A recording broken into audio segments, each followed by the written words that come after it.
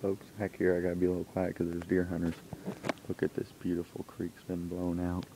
I just came up on the craziest heartbreaker I ever found, but look at all this flint I got just from this ditch.